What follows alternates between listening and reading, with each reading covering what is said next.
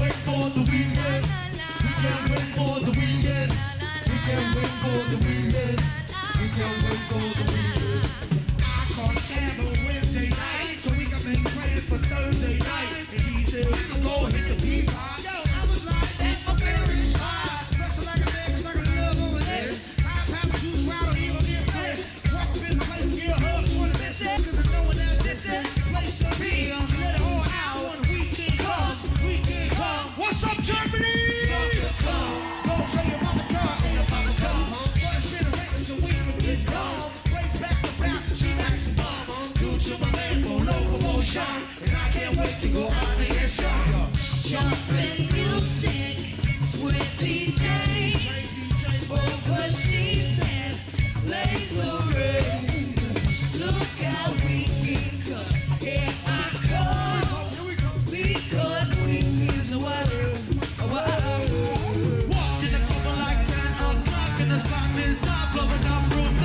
Thursday night and the night is. Four day to have some fun. DJ's